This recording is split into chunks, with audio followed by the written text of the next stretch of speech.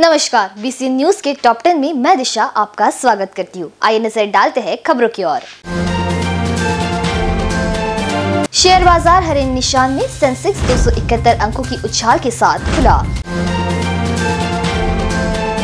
महाराष्ट्र में कोरोना की 22,122 नए मामले आए सामने पिछले 24 घंटों में तीन सौ इकसठ हुई मौतें।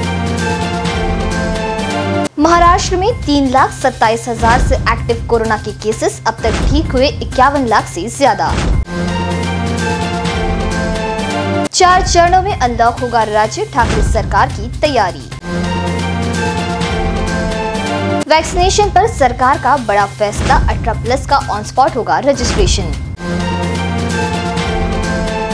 शहर में पैर पसार रहा ब्लैक फंगस 24 घंटे में चार की मौत, अब तक बावन की हुई मौतें। के काबू में आने से राहत ज़िले में तीन महीने बाद 500 से बिजली कर्मियों ने किया काम बंद आंदोलन। पाँच मांगों को पूरा किए जाने तक रहेगा जारी आंदोलन। महापौर ने प्रस्ताव तैयार करने के लिए दिए निर्देश। दाबा में 50 बेड का अस्पताल हॉस्पिटल के लिए जगह भी है आरक्षित। मोमिनपुरा में फिर दुकानें हुई सील। एनडीएस दस्ते का बर्पा कहर। 25 प्रतिष्ठानों के खिलाफ की गई कार्रवाई। बीसीएन न्यूज़ के टॉप 10 में फ़िलहाल इतना ही। ऐसी अन्य और खबरों से जुड़े रहने के लिए देखते रहिए बीसीएन न्यूज़ नमस्कार।